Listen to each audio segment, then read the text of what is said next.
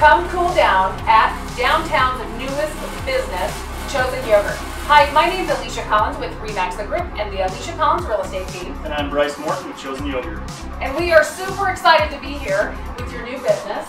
Why, what made you start this business? So, uh, all the equipment and furniture and all the fixtures were already here. Uh, with everything happening downtown, the David Street Station, splash pad, all the revitalization of downtown, seemed like it was a great fit. So what are the different kinds of yogurt you have? Just give us a few ideas. So we've got 14 different flavors, everything from chocolate caramel turtle all the way down to raspberry pomegranate sorbet. Um, so we have the yogurt sorbet and then soon we'll have some gelato as well. And then we have over 30 toppings to put on top of it.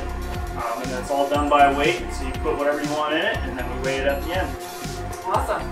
So come on down to Chozen Yogurt and get your yogurt on.